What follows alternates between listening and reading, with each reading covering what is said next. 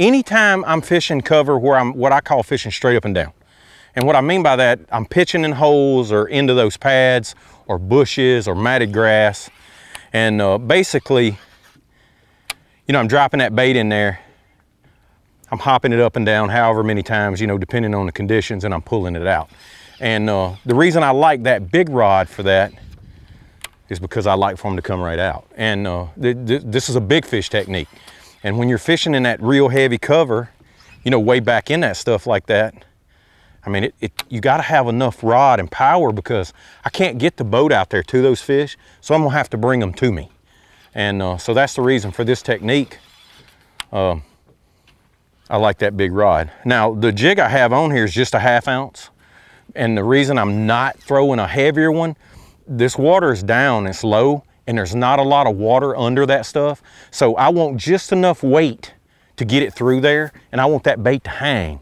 Because if it just shoots right through there, the strike zone is not very big. So the longer I can leave that bait hanging, the better chance if that fish, if I didn't drop right on it, has a chance to, you know, find the lure.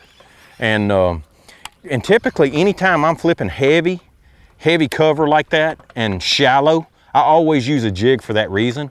And because uh, I want that bait to have a slower rate of fall.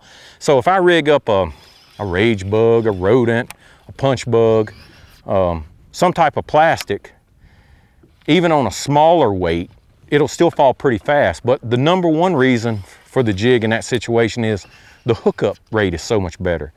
You know, a lot of times with a Texas rig, when you're fishing heavy cover like that, you know, it's it's easy to miss miss those fish, especially like these fish are really aggressive, like they're jumping on the bait.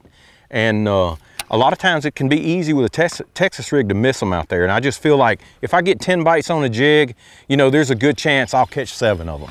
Where with the Texas rig, you'll have days where, you know, I get 10 bites in that stuff, I might catch two, you know, so that's the reason for the jig.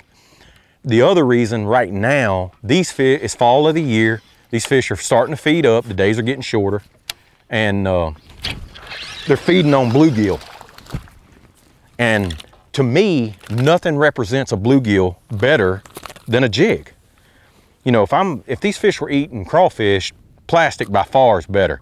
But that jig, it's bulky, it's short, swims like a bluegill. It's just a perfect uh, combination when they're eating bluegill and heavy cover. Because that bluegill, he's hiding out there too, you know, same place the bass are.